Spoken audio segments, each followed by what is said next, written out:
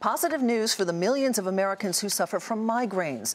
A new injection that prevents debilitating headaches met the main goal of a mid stage study. Alder Pharmaceuticals, which makes the drug, saw its shares soar nearly 50%. As Meg Tirrell reports, Alder is competing with some bigger rivals to get this new class of drugs to market. It's a problem more than 30 million Americans are all too familiar with. Migraine headaches are not only painful, but can be debilitating.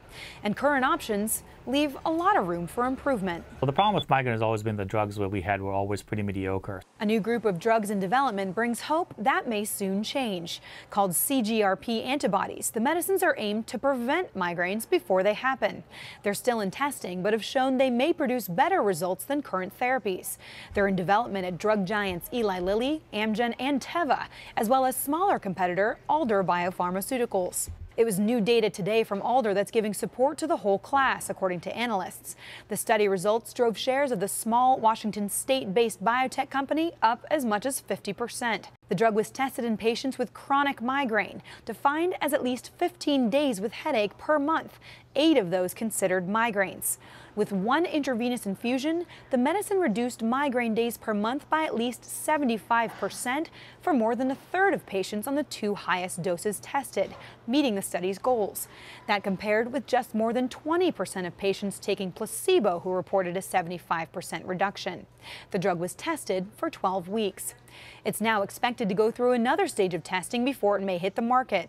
Sanford C. Bernstein analyst Ronny Gal says each of the four drugs in development is essentially neck and neck, with potential approval in 2018.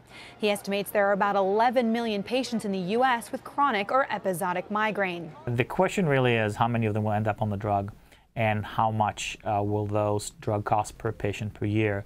We are right now running a numbers of between five and six billion dollars for the market in total. That assumes multiple medicines make it to market and are priced around $10,000 a year per patient, Gal said.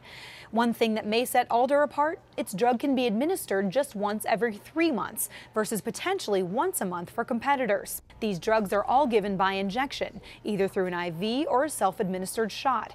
And so far, their safety, according to analysts, looks good, though results of the larger clinical studies are needed to confirm. For Nightly Business Report, I'm Meg Tirrell.